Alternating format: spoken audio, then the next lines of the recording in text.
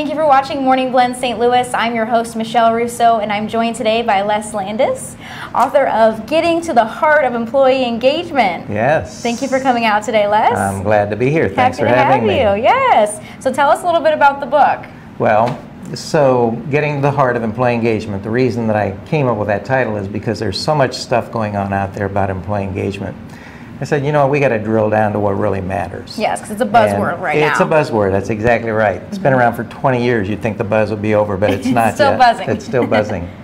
but there are two things what I mean by the heart. First of all, you really do have to get down to a few core things, and I'll talk a little bit about what those are. But the other piece is that there's really an emotional issue here. My definition of employee engagement is that it's an emotional connection that people have for their work or for their organization that gets them tuned in, turned on, and eager to go the extra mile. So that's really kind of where the other part of the heart connotation comes in. Okay, and what inspired you to write the book? I've been watching too many people struggle for so long, not really getting tuned in and turned on and eager to go the extra mile. It's not good for the employees, it's not good for the company, and if you really do get the employee engagement uh, magic sauce right, it can have a huge impact on an organization. Oh, absolutely. And just for an individual themselves, just to be promoted and move further and be well respected in the Yep. industry. Yep, It's huge. absolutely. It's huge.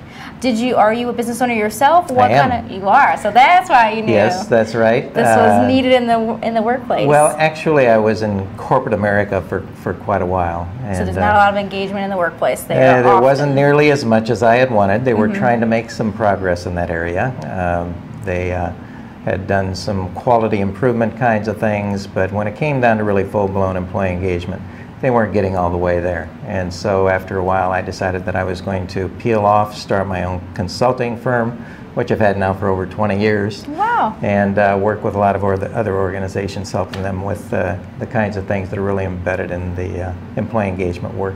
And what would you say would guarantee a positive engagement in the workplace? Well, let me answer another, let me go another direction first. Sure. First of all, people say, what's the value of this stuff? And, um, you know, there's a lot of interesting data out there. One of the things that uh, uh, the Gallup folks have found is that in the companies where they have high engagement indicator scores versus the companies that have lower engagement indicator scores, I mean, profitability is like 20% higher, productivity is 20% higher, quality defects are like almost 50% lower, um, absenteeism, all of the kinds of things that nobody wants, all significantly lower. Right. So, if you're looking for a reason to do that, uh, if you're a manager and that doesn't get your blood racing, then you ain't got a pulse. Uh, but if you really want to go down that path, the first thing you have to do is make sure you don't get caught in what I call the program trap.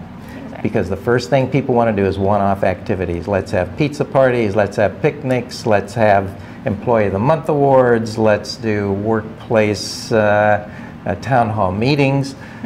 A lot of that stuff is fine, but until we actually make fundamental changes in the systems and the processes that you work with every single day, you're never going to get really full blown engagement. Right. And those things include stuff like what are you measuring, how are you measuring it, communication, how are you communicating, what are you rewarding, what are you recognizing, what kind of learning and development systems and processes do you have, and most importantly, is systematic continuous improvement. Mm-hmm. Because we are creatures of habit, and we will keep doing the same darn thing over and over again unless we've got a habit to break the habit Exactly. of doing things over and over again the same way. Exactly. Okay.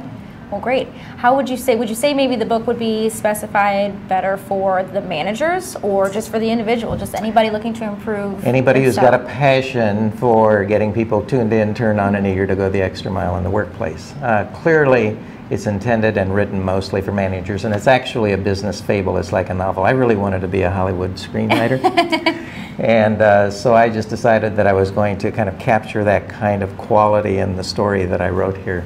So uh, anybody who likes reading that kind of stuff, and particularly in a story form, mm-hmm. I think will enjoy it. But the managers, the people who are the leaders in the organization, are the ones who are going to be able to take what's in here and I think uh, really make a substantive difference in the way people perform. And as a manager, what kind of pitfalls do they need to look out for? Yeah, you know, the main ones are exactly what I said a moment ago. Okay. Don't get caught in the Oh. program trap. Mm-hmm. Don't get caught in these one off activities. Don't believe that pizza parties, picnics, and town hall meetings and all these other kinds of things are going to get people fully engaged. It's what you do in those daily processes around measurement, rewards and recognition, communication, learning and development, and continuous improvement.